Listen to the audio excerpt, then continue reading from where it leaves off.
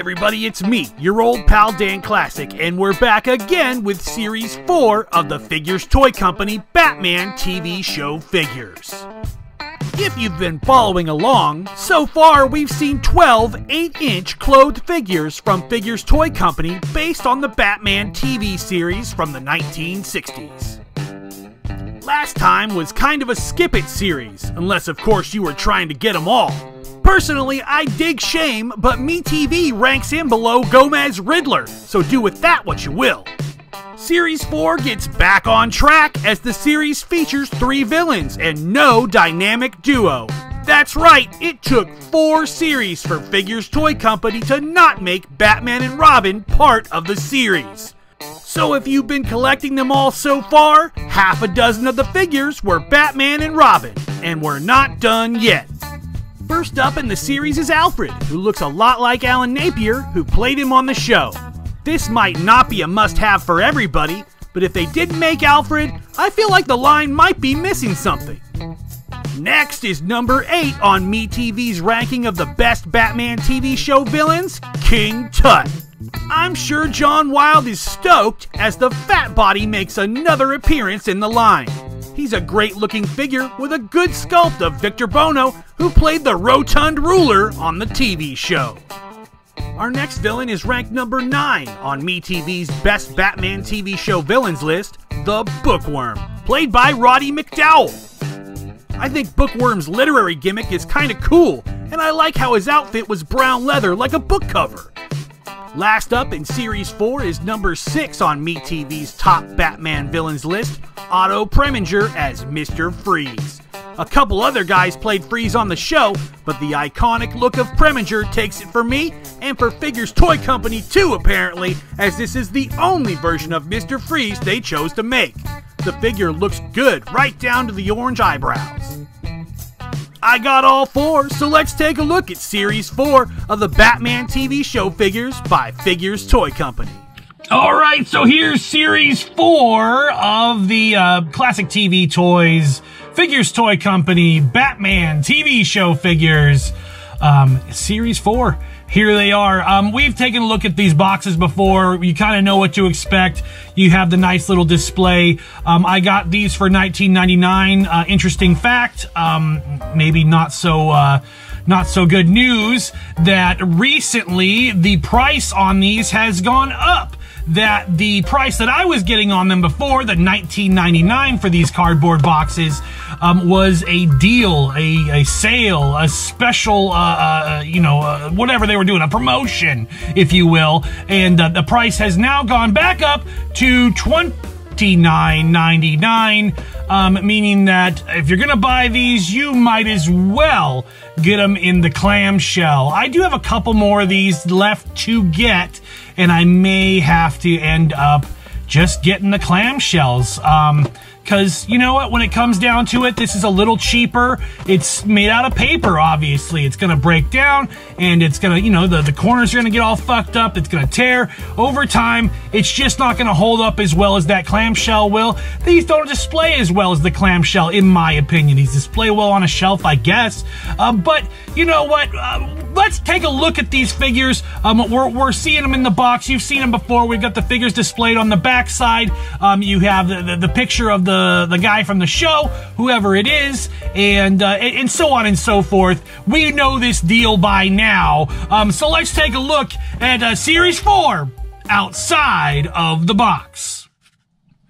All right, so let's start things out with Alfred. Um, not bad at all. Looks a lot like Alan Napier. Comes with the Coke bottle specs that are removable. Um, as you can see, uh, you can take those off and get rid of them if you'd like. And there he is. Uh, it's Alfred Sans Shades or, or Sans Specs, if you will. He has his uh, nice little butler suit on. Um, good resemblance to uh, Alan Napier, the, the actor who played played old Alfred on the TV show. Um, not bad. Uh, you know, uh, sculpt on this one. Looks pretty goddamn good, in my opinion. But, you know, you've got the same sort of issues that you have with every single one of these things. It's the bodies. Um, and they've got those little rubber bands inside of them. So this one's kind of in a little bit of a twist. And, uh, and it's a pain in the ass to try to do any sort of posing on these. Um, you know what? Like, how many good poses are you going to want out of Alfred anyway? But even if you wanted to do a dynamic pose with him, it's going to be a little bit more difficult. Then here's another fucking problem. socks! Fucking give him some socks! For crying out loud, $30! These things cost $30 now, and uh, they were $30 anyway in the first place, and, and that's what they cost. That's what they fucking cost. Um, $30 for these things, um, and, and no socks. The Joker had socks, so you prove that's, uh, that's proof of concept that you could give the Joker socks and, and, he would and it would work and it would be fine. Everybody else is fucking Don Johnson on Miami Vice and they're not wearing socks. Um, he looks fine. He looks fine, but really, for 30 fucking dollars, I mean, are you gonna get every single goddamn one of these things? Probably not. Um, it, with the price hike, with the price going back up to whatever the normal price is, um, a lot of these have become overpriced. This one, at least to me included, luckily I was able to get this for $19.99 when it was still on sale. Um, but yeah, uh, you might not be so lucky if you were trying to get every single one of them. It's going to cost you 30% more. Um, and for, you know what, for most of these figures, they're really a pass. You can pass on most of the figures in the line, even though I do like the idea of this line. I do like that they are they are they do look nice and they display nice, but they're pretty much you just cut it right there. They're good for display. They can stand there basically stand at attention for the most part, but otherwise they're they're they're cheap bodies. They're they're falling apart. Look at the wrist here. This thing's about to fucking come off. And uh, you know, and, and these let's take a look here. At least they got the sleeves that go all the way down on here, like nice little tie. He looks good. He does look good. It looks like Alfred. He's he's very recognizable. You put the glasses back on him here, and really, it looks it looks just like him. Um, but yeah, honestly, at the end of the day, were you gonna get every single one of these things? Not for thirty dollars a piece. All right, so here is Roddy McDowall as the bookworm. And now that I take a look at it, they did give him a kind of a pleathery look to his outfit. Um, not bad looking, not bad looking at all. Pretty good sculpt, looks like the character. Here's the fucking problem. Um, he has this little book light that's supposed to connect to this little hole right here. They give it to you in like fucking three or four pieces for some reason. There's the hat, there's this hat band, and then there's this little little book light that's supposed to go through in this little hole and, and you can, and it doesn't fucking fit in there. You can try and jam it in there all you want. You might have to make a brand new hole. You got these glasses. They weren't, they don't fucking really fit all that well. Um, at least they stay on his head. You can shake them all around. Um, and, and god damn it. God damn it. Every time. Figures Toy Company. Okay, so I know, I know. Well, maybe the bookworm isn't the most important fucking character in the world, right? Maybe he's not. He's not the most important character in the world. Oh, he has whole sleeves. Uh, at least he has he has fucking long sleeves on his shirt, a little yellow tie, looks fine there. But there's always something. There's always something where it's like, oh well, well just put it in the box. Who gives a shit? And they put it in there, and they're just like, oh, who cares? And look at this. It looks like fucking shit and it doesn't fucking work properly. And even for display, even for display, I tried. I tried for the last fucking 10 minutes to try to put this stupid fucking hat together just so I could stand him up to have him look good for two seconds while I started this fucking video and I couldn't fucking do it.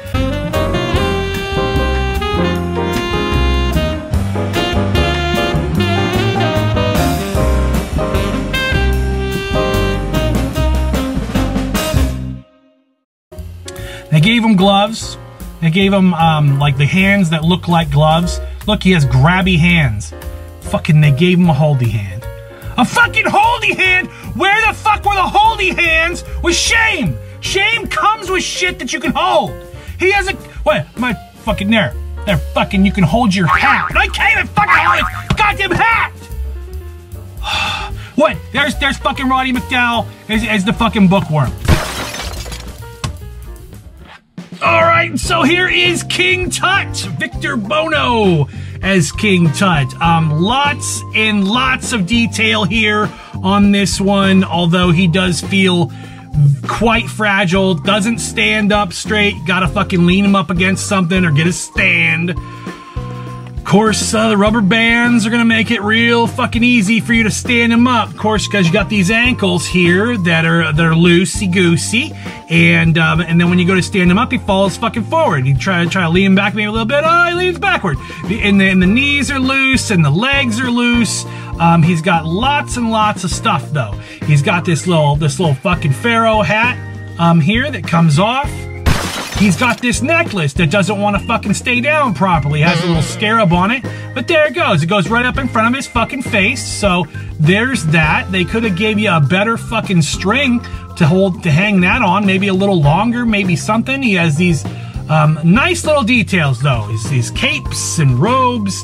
Um, very, very fucking cool. And uh, and and as and as we've seen before, and, and as I'll, I'll say again, here it is. Uh, this is this is for you, buddies. For you, John Wild. It's the fucking fat body making a making the the triumphant return to the Batman TV show figures.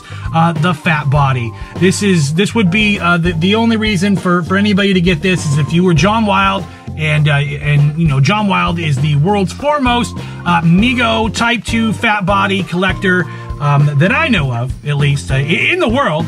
And, uh, and, and yeah, this would be the reason to get this. Um, a cool fucking character, King Tut. If not a little silly, you've got this fat white guy um, uh, pretending to be uh, King Tut. Uh, fucking hilarious fucking episodes of the show, and and that's really where it's gonna get points for me. And this will, if you if you really fucking if you're really careful with it, it will display display pretty well. Uh, but you're gonna just gonna have to get stands. Oh, well, look at this. They gave him a fucking holdy hand. They gave him a fucking holdy hand, and he's got nothing to hold, nothing to hold, and nothing to prove. Um, this was a figure that uh, likely I was gonna get either way um, because I do think it's he's an interesting character. It's a funny fucking character. Just looking at him makes me fucking laugh. Um, but yeah, it's King Tut. All right, so finally, finally, it's Mr. Freeze. Otto Preminger as Mr. Freeze. Wow. Wow, what a cool looking fucking figure. You know exactly who this is supposed to be. The outfit is great. They gave him the superhero style uh, gloves that attach to the little ball joints on the hands. Um, he, they gave him, uh, I think these are, he's got real feet in those boots there. Um, and the little rubber boots, they're kind of light, but they do help him stand up. They help him stand up a little bit better than the other figures in the line. He stands up pretty well. He's fucking loose as shit. Look at this. Look how loose he's brand new out of the box, and he's just loose as hell. Um, I could restring it, but I don't know that it's to do much fucking good. Um, as we turn the figure around, we do see he has his little uh, uh, like fire extinguishers on his back here as part of his Mr. Freeze fucking get up here. Um, I've seen this figure with a fucking dome on his head. I don't know if that's something that's being added by a customizer or that's something that came with the figure. Mine didn't come with a fucking dome. Of course, I bought him in the cardboard box. Um, and, and if that's the case, that that figures toy company was just like, hey, well, there you go, shove it up your ass. We didn't give you one. Um, no dome. Not that a fucking, I don't think a dome would fit because this thing is not fucking, not even. It's all warped. It looks like a warped fucking ring around his neck. Um, and the suit looks kind of dirty. Oh my god. One fucking figure. Could I get one figure that was kind of okay in this fucking line? This would have been this would have been the pick. This would have been the one pick. And I had to pick one from from the fucking series four that I wanted to get. It, it, this was the one I was waiting to open. It was like, let me get Mr. Freeze open. Let me fucking get Mr. Freeze open and see what he looks like. He's fucking cool looking. Does he have the? Oh my God! Fucking John Wild. Fucking double trouble in series four. Mr. Freeze has the fat body. So so there you go. Um, John Wild will be pleased to, to hear about that. Uh, otherwise, this figure is kind of okay, but when you think about what you're gonna pay for these things, when you're thinking 30 fucking dollars plus ship for these figures, is it really worth it to you when they're when they're loose, when their fucking accessories are broken, when they come fucking like all fucking his his legs falling off. Oh my god, that's fucking Mr. Freeze. All right, so at the end of the day, Series 4, you had some good additions. We didn't have a Batman or a Robin. You've got some nice outfits, but on the on the converse side, on the other side, on the bad side, it, it, there's fucking cheap bodies. They're they're loosey goosey. The accessories are fucking falling off, and in some cases you can't even get them on in the first place. And for the the price hike for the thirty dollars that you pay for these things, no, no, they're not worth it. No, I would say buy something else for thirty dollars. You might as well buy a fucking a NECA figure for fucking thirty dollars. Um at least they, they fucking come put together. These things you gotta put together yourself, and there's no guarantee that they're gonna go together. These can't they can't fucking display. They're they're all fucking twisted up. You have to go to all the trouble of being like a fucking customizer to restring and and and redo and and change and fix these fucking things just to get them to display. I'm not even talking about playing with them. I'm not talking about like giving them to a little kid to be like, hey, let's play Batman. No, I'm talking about just putting them on a fucking shelf to stand up and hoping that the moment you walk away or a fucking, you know, somebody opens the door to your house, they don't just all fall over like a bunch of goddamn cheap ass dominoes. Oh my god. Anyway, that's it for series four. There's two to go. Let's see how fucking. I don't even know if I can make it to series six. Um, anyway, that's series four.